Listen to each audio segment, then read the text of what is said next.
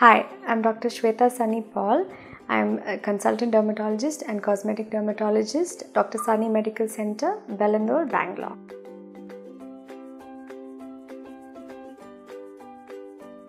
Diabetes mellitus is the most common um, disorder of the endocrine system, which is the hormone system.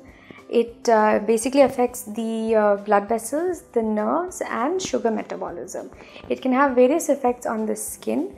Um, itching per se is not, you know, just generalized to diabetes mellitus. There are a lot of causes of itching, but if you do suspect that you have diabetes, these are the skin conditions that you should look for.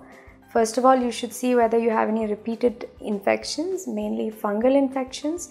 Uh, there is an entity called candidiasis which uh, leads to white patches either in the mouth or in the genital area and uh, you can have white discharge we call it curdy discharge from these areas so that's one thing to look out for you can have other fungal infections in other parts of the body as well you can have bacterial infections, uh, especially cuts and wounds that get infected quickly and don't heal very fast. You can have repeated viral infections as well, especially cold sores on your lip uh, or various other viral infections such as herpes zoster.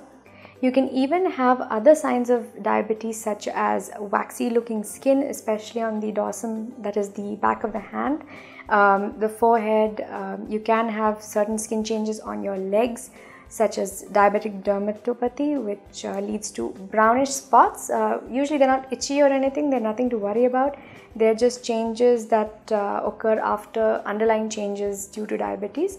Um, you can have cuts and wounds over the feet and uh, fingers that you don't notice till much later on. Um, this is due to damage to the nerves. Um, this leads to reduced uh, sensation in that area, and you don't realize when you get cuts. So these are a few things that you look out for if you do have diabetes mellitus.